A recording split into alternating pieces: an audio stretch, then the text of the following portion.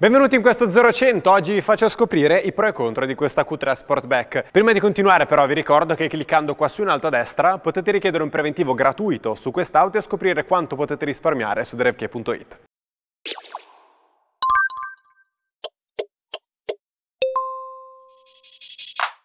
La Q3 Sportback è uno di quei SUV definiti coupé, quindi col posteriore che scende verso il basso, proprio come succede sulle coupé o come succedeva in passato sulle coupé. Questo rende questo Q3 molto più gradevole in questa versione Sportback rispetto alla versione normale, secondo me. Voi fatemi sapere la vostra. Gli interni di questa Q3 Sportback sono veramente al top per quel che riguarda la qualità complessiva, soprattutto per i materiali e anche per gli assemblaggi. Qualche accoppiamento però dei materiali plastici soprattutto potrebbe essere migliore, come ad esempio nel caso del volante oppure della plastica delle maniglie delle portiere. Quindi nel complesso, ripeto, qualità al top, ma qualche dettaglio da rivedere.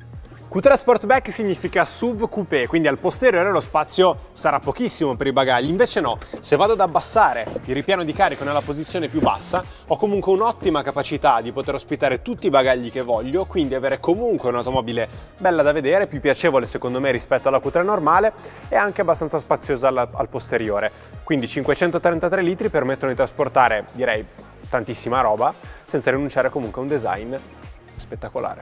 La forma dell'1.8 non aiuta a vedere bene al posteriore, fortuna che c'è la telecamera che risolve tutto. Rispetto alla Q3 normale la Sportback si guida meglio, a mio avviso al posteriore la sento più composta. In effetti il posteriore più basso aiuta ad abbassare proprio il baricentro, quindi la vettura si guida comunque molto bene, oltre che al comfort c'è anche un po' di sportività, chiaramente parliamo sempre di un SUV, pertanto è un SUV sportivo, non un'auto sportiva, attenzione a come poi vengono classificate queste cose. Nella parte centrale i portaoggetti non sono tanti, sia qua, qui piccolino, giusto il cellulare.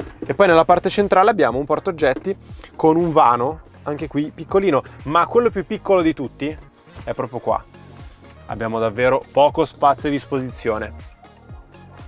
Ci stanno giusti i documenti e poco altro. Spero che questo video vi sia piaciuto, se è così vi invito a lasciare un mi piace e non perdere la nostra recensione completa, che arriverà tra poche ore sul nostro canale YouTube. Ci vediamo alla prossima, sempre qui su DriveK. Ciao!